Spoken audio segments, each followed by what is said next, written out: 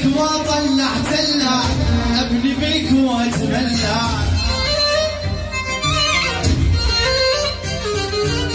كل عقلك تسألني ليش يا أخي موت اشتقت له